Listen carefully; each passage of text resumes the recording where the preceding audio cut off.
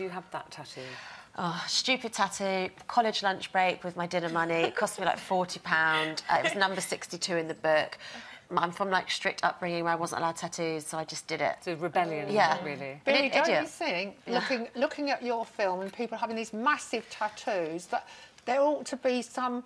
I know it's hard to regulate this industry, but don't you think two things? Number one, if it's your first tattoo, it should be small Mm. to see how you get on with it. And number two, if you're drunk, Yeah. the tattooist should not Well, do they it. shouldn't. There is a law for There is, that. they're not that- meant to do yeah. Oh, okay. Yeah. But you meet people who uh, were having these and were kind of drunk and stupid, Yeah. couldn't even remember doing it. Especially the tourist, yeah, the tourist tourist. tattooing, you know. The elephant, do you want to tell us about that? Can I? Can I say it like that, James?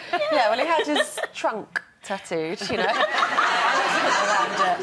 Um, yeah, so which again was like to impress a girl on holiday. no. Yeah, and now he regrets it and can't get a serious girlfriend. And we went together for the laser. Yeah. I was there to support him, and I went first. And obviously, you saw my reaction. yeah. So, yeah, but um, he still Have did you, it. have you managed to stop when you've taken them to see people who've done it and regretted it? Has it changed anybody's mind where they've gone, you're right, I'm not going to do it? This year I did. Last year I didn't. Everyone was, you know, had the heart set on it. But actually, tomorrow night, tomorrow night's episode, there's somebody that doesn't go ahead with it, Right. and the final episode, there's someone else as well. So, Is, is that the purpose of the show to change their mind or just to make to them them think, think, about it? yeah.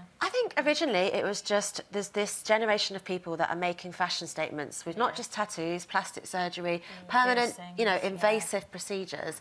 And it was like, surely if there's this nation of doers, there's got to be an, a, a kind of um, generation of regretters. And where are mm. these people? Like the big boobs, you know, when you're in your 20s and you want almost like a caricature, what do you do when you're in your 50s and you're at mm. parents' evening and things like Yeah. that, you know?